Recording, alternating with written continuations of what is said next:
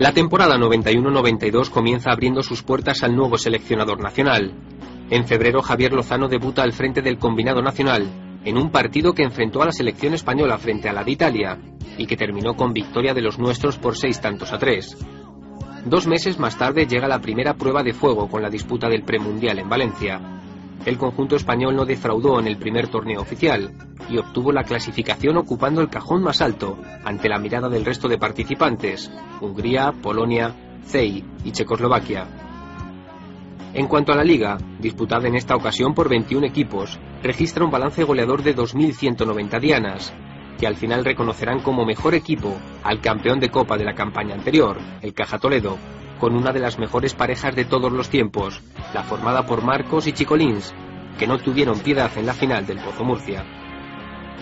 Cáceres acoge la tercera Copa de España, un trofeo que por fin va a recompensar al eterno finalista de la temporada anterior, el Penzoy Marsanz, que derrotará en una apasionante final al Sego Zaragoza por 7 goles a 6.